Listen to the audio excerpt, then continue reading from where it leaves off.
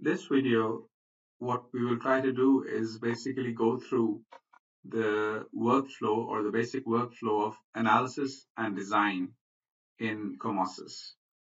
And we will go through the multiple steps of entering elements, creating the loads, creating load combinations, running the analysis, designing, and all that. But we will keep the, the actual example extremely simple since the idea of this video is to not really create a very complicated example, but go through the basic steps so that everybody can uh, quickly understand where the commands are located, uh, which commands to use, and this and that, and the, basically what order to follow and what um, what the workflow of analysis and design in Comosys is. So I'll begin with uh, talking about basic uh, entry of the frame elements. Now, if you go to the steel menu, first of all, uh, the basic analysis related elements are uh, are under the steel menu as well as under the concrete menu. So you can use the beam columns over here as well, as well as the steel. I'm going to give examples mostly related to steel because uh, the, it's more or less the same for the concrete one as well. So we have different commands over here, if you notice.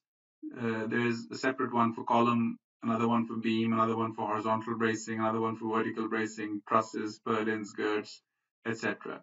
And this is a bit different from normal analysis programs in which typically you have just one command for entering frame elements, which asks you for two points, and you keep using the same command because in typical finite element programs, there is no uh, separation of um, these beam groups because as far as the analysis is concerned, they don't really make a difference.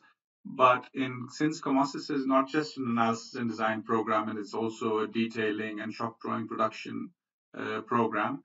Therefore, we for the ease of the ease of the user, we have created this uh, the most commonly used ones over here, and you can use other beam groups as well. So the first thing which needs to be noticed is that we've got separate commands for the most commonly used beam groups. And the, it's a good idea to use the actual command itself as far as the analysis is concerned, if you want, it won't make a difference. If, if you want, you can go ahead and enter the entire structure using only the beam command and the analysis results uh, will be the same. Uh, but it is in during the design and during the detailing that you will notice the differences. So it's a good idea to, to actually use whichever command, uh, whichever beam group you're actually trying to enter. So if you're going to enter a column, it basically asks you for a single point and it's just uh, it's a point and shoot thing. You just click on the point and you have your uh, columns. If you double click on the columns, you can change the um, you can change the um, for the so this is the point which you clicked on, and how much below that point do you want the column to go, and how much above that point do you uh, do you want the column to go, and what the profile is, and this and that. We won't go into all these details because these are covered elsewhere, since we're only going through the workflow over here.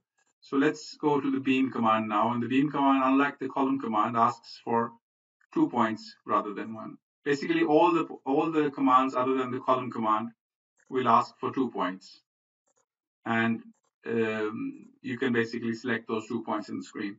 Now, one thing I want to mention very quickly over here is that when you are entering uh, frames, finite element frames, you will notice that you will not be able to snap to these points. And this is for a, you can if you want to, and there's a way to do it, but uh, we have purposefully limited the snaps only to these, uh, to the joints and to the endpoints, because when you're zoomed out, and since this is a detailing program as well, uh, normally we can snap to all, all these points over here. But in a, in a finite element program, uh, when you're entering the finite element model, you don't want to snap to all those points.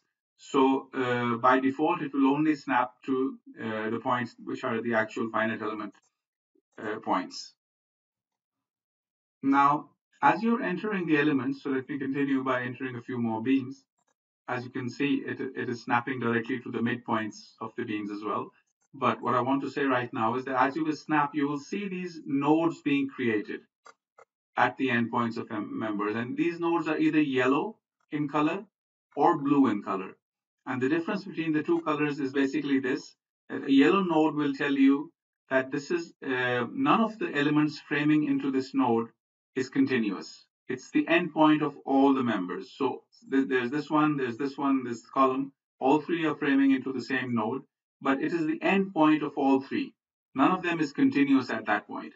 Whenever that is the case, the node, the color of the node will be yellow. And when you double click the node, you can see the connectivity count over here. So the number of connected frames is three, which means that three frames are connecting to this point. However, when you go to the blue ones, you will see that one of the elements connecting will be continuous and everything else will uh, uh, will not be continuous. It will be just basically they will be ending at that point. But there will be one which is continuous, and whenever that one is continuous, you will notice that node to be blue. And we call these blue nodes intermediate nodes in in Comosys. So always keep uh, make sure that um, you your your finite element model is correct when when you're entering the uh, the model. So you can what you can do is you can press Alt D for the various um, draw modes, and you can see on the screen what the actual model looks like. And you will see that once again you're seeing the nodes, and you're also seeing these little green symbols over here. And these green symbols are uh, representative of your uh, moment releases or any any release basically. So uh, they don't really tell you what release is present in. So this this one is saying that this member has a had an end release at this point and another release at this point, but you don't know what those release, re releases are. What you can do is you can double click on them, and you can go to your analysis, and you can see that the start has a M22 and M33 release, and the end also has an M22 and M33 uh, release as well. It could have been an axial release. It could have been any one of these releases. The symbol would have remained the same. But what's what is basically telling you that there's a release in this member, there's a release in this member. As you can see, the columns have not been released.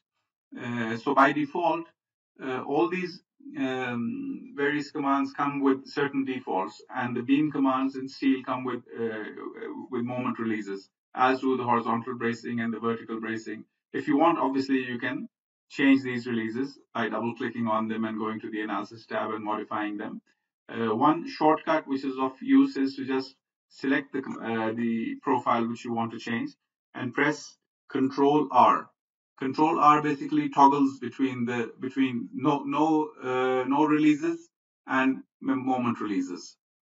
So if that's this is the most commonly uh, used release, these two moment releases in, in steel structures. So you can press Control R to toggle between the two. If you feel that this is basically uh, not looking good as far as you, know, you don't want the clutter on the screen, then you can go to the visibility settings over here and uh, turn off the release symbols. And if you do that, then the release symbols will be turned off and you, you will be left with a much cleaner finite element model to look at. Now, uh, I want to mention one mistake, which is which can be common, and that is that uh, so, for example, if you wanted to enter a beam, and I'm going to purposely make a mistake over here, and I'm going uh, instead of snapping over here, I'm going to snap to uh, a point just about maybe uh, two millimeters short of that. So I'm going to say dx minus two, uh, and when I zoom in there, you see a node over there. Now, um, obviously, uh, you will not make this mistake very often, but sometimes you do snap to other things in the program. And when you do that, one one thing you should always be careful about is looking for looking for this blue node when one element is continuous. And over here, I was I should should have been expecting a blue node. Uh, I, I was expecting this one to connect to this one, and had it connected properly, this node would have turned blue. So if I go to my finite element mode, I will and I really zoom in, I will see that I have failed to connect to it. And had I uh, not failed to connect, so let me just take this node and say move linear, and let me just move it two millimeters, the mistake I purposely made. Uh, had I had I not done that, the node would have been blue in color. So always be on the lookout for these um, blue nodes whenever you're entering an element which uh, which connects to another another element somewhere in the middle of that element. They will be they will give you a clue whether you have actually uh, snap to the right point or not. So now let me continue by entering a few other beams just to basically finish a very simple model. Let me just um, go like that, make the two uh, exactly the same as each other, or maybe slightly different. Um, this one is, yeah, it's the same basically. And now I can enter my horizontal bracing. And for the horizontal bracing, I can go to my icon directly and I can just start uh, entering my horizontal bracing like that, like that, like that. I can, I can take it all over.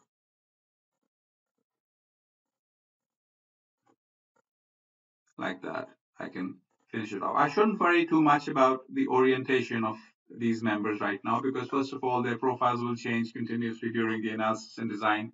I can't just keep um, adjusting them every time the profile changes. Uh, and as we know that the analysis and design is basically an iterative procedure which in which we do in which we analyze and design again and again until we get get to the final uh, results. So don't worry uh, at all about how they're located. Uh, when we get to the detailing part, then uh, whoever is doing the detail detailing can sort it out, and we discuss this in other videos about auto adjust and uh, commands like that, which will help us do that. Now let's continue with the vertical bracing. So uh, we have the vertical bracing command separately over here, and we can uh, quickly enter a few vertical braces from there to there. From uh, there, make sure you're snapping to the right point. That's one mistake which is commonly made. Always try to work in uh, the relevant views. Right now, since I'm just showing you the basic flow, so I'm not really too worried about that. But what you should be worried about is ensuring that you, you don't you always snap to a proper finite element point. That's the only thing which uh, one needs to be careful about. Now uh, I'm going to enter some uh, girts and I'm going to enter them for the reason for the simple reason that I want to actually we will load the girts later for the wind loading. So I'm going to go to my girt command. There's no purlin in this particular model. So I'll just go to my girt command and I can enter the girts directly. I, I also have a specific command for entering girts over here, uh, which makes it uh, much easier. So what I can do is I can just select this column and this column, and my girts will be created. And the good thing about this command is that although they have been created at the proper location, uh, they are still in perfect accordance with the finite element model. So if I were to uh, press Alt D, we can see that the girts have been uh, are not really violating the finite element model, and uh, but they have been uh, placed at the outer flange of the columns. Now, of course, this column profile might change, and all this might uh, be useless. And in any case, the person who's going to do the detailing will have to enter the, uh, the will have to modify these girts to the proper location again. So don't worry too much about that this command basically makes it a bit easier for us to do that. Now, uh, the next thing I want to do is uh, go all around the building, so I can just use the same command, say this column to this column, and then uh, I can turn it around. I can go to the same command and I can say this column to this column, and similarly, I can turn it around again, and I can say from uh, here to here. So these are uh, these are uh, very quick ways of entering the girts, and uh, it's uh, since we are going to be doing a broad loading and maybe manual modification as well. What I can do is I can uh, quickly select all of them, press M because there are four macros now, the four macros for the girts, and I could just um, right click and say uh, explode these macros because now I want to play with them manually. Now, uh, if I if you remember that all the beams which were entered had moment releases in them, and we had turned them off, so I want to turn them back on now, uh, just to show show them to you once again. Uh, and let's go to the line mode, and we can see that even these frames in this direction uh, are released, whereas this is our our basic moment direction, frame direction. So the columns, the strong side of the columns is like this. So I basically want this beam and this beam and this beam over here not to be released, not to have a moment release. I have my braces in this direction, uh, but in this direction, I'm not going to enter braces. So I want basically this one and this one and this one to not have moment releases. So I can just press enter and I can clear any release and say OK and say the changes to multiple objects, yes. And now the releases have gone. If, if I were to press Alt D again, I can see that these these elements no longer have the moment releases and this is what I wanted I can turn the releases off uh, because they're creating a, cl a clutter And uh, yeah, basically this is what I want. Now, uh, the structures which I want to uh, enter and go ahead with the analysis and design is more or less complete. So uh, there's one thing left, which is the constraints, uh, the, um, the, restraints rather, and the nodes at the bottom of the columns uh, need to be restrained. These nodes over here. So what we can do is we can just look at it from the side and just go like something like that. And now we've selected all the nodes, one, two, three, four, five, six nodes, but we've also selected these braces. Obviously, we know that on the fly filtering is available. So we press enter, we can see the nodes and the joints separately. If I were to select the nodes and then just double click on these nodes over here, the, only the, the six nodes will remain selected. You can see how many objects are selected on the bottom left corner over here. And what I can do is I can select from any one of these uh, presets. So I can say, just give me um, a hinge at, uh, at the base of all the columns. I can have a fixed column, I can have a hinged column, or I can have them uh, modify them manually as, as I want. In, in this case, let's just keep it simple and keep them hinged and say OK. And the moment we do that, these symbols uh, appear, which represent that some sort of a restraint has been applied uh, to these columns. Now, uh, one thing to note is that we've been entering physical elements rather than actually finite elements.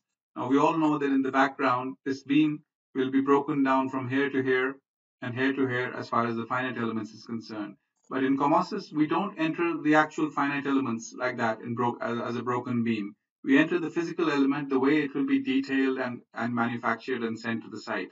And in the background, uh, when the analysis is being done, Comosys will break, break down this physical element into its subcomponents as far as the finite element is concerned.